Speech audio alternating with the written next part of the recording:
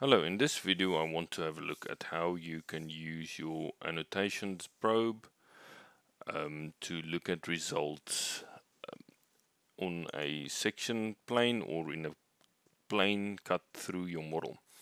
So one way you can do this is to insert a section plane and this will show you results um, on that cut plane so you can go and draw a cut plane if you're on your results um, on your results tab you can select section planes um, and it will create this tab here at the bottom. If I open that and I click on this I can draw a section plane and I can modify this uh, depending on what I want to do.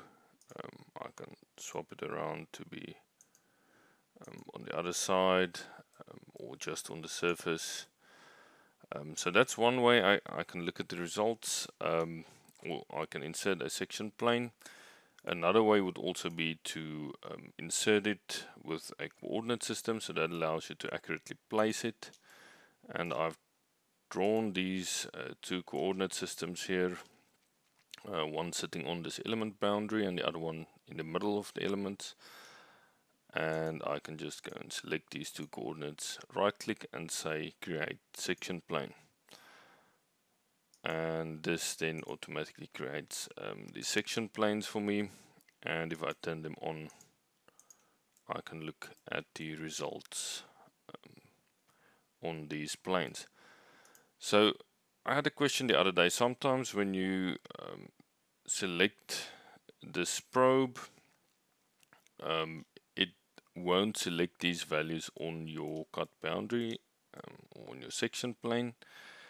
And um, something that I find works well is to just go and click the show whole elements and then untick it again. And then usually you are able to actually probe use your annotations probe um, on this surface.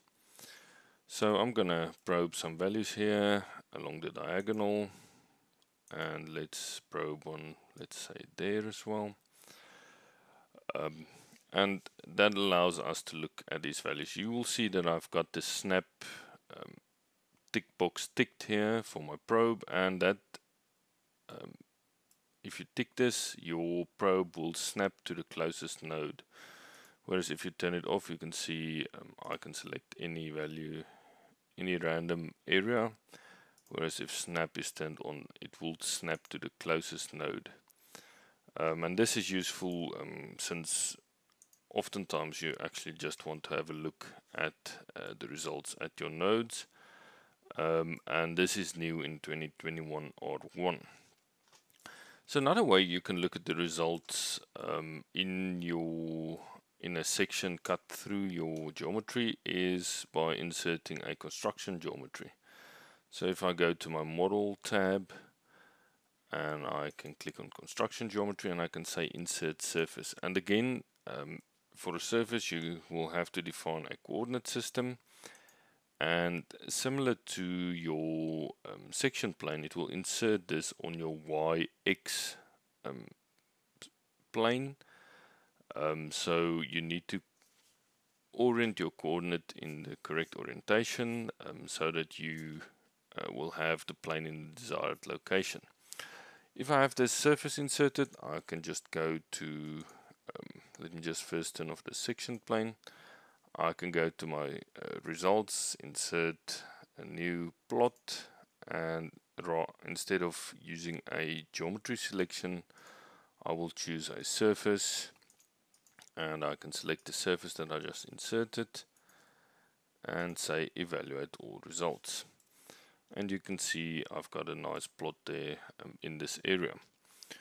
And again I can use my probe here. Again snap to nodes. I'll go down this diagonal and choose the same points that I chose on um, the first plot.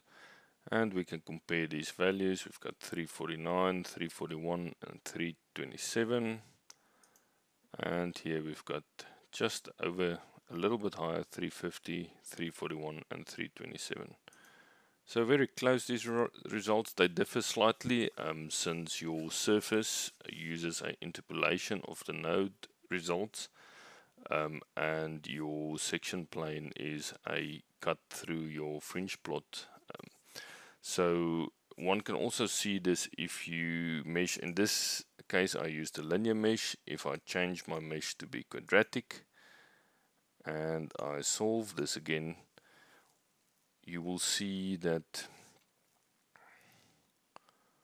my plot on my surface now has basically half the element size and that is because I now have mid-side nodes and it interpolates between the nodes. Um, so I've got a finer um, result mesh on my surface. Um, and this will also give you a slightly different result um, but very similar but slightly different result than with a section plane.